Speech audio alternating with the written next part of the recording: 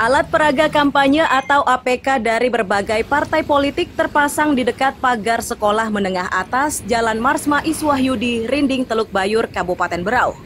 Areal yang dilarang tersebut kini menjadi sorotan masyarakat.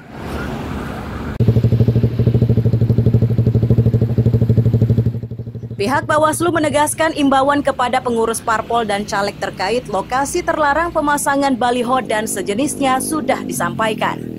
Dari temuan ini, Bawaslu akan melakukan langkah cepat.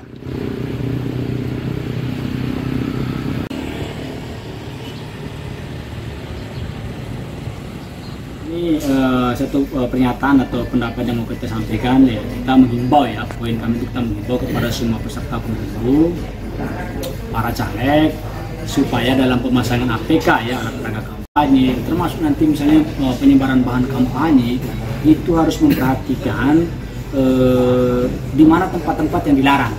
Nah, di situ fasilitas pemerintah, kemudian eh, seperti sekolah, tempat ibadah, itu tempat-tempat yang dilarang. Apa yang teman-teman sudah sampaikan tadi ini, biasanya kita gerak cepat. Nah, ini langsung kita sampaikan kepada eh, teman-teman pemasuk di tingkat kecamatan untuk sudah melakukan uh, penelusuran itu sekaligus menelepon misalnya saat itu tahu ini uh, APK-nya caleg uh, dari partai mana itu langsung dicek langsung ditelepon langsung dihimbau uh, langsung diselesaikan dari itu juga. Hmm.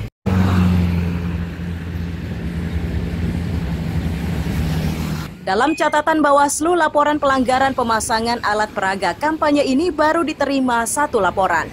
Miko Gusti melaporkan dari Kabupaten Berau.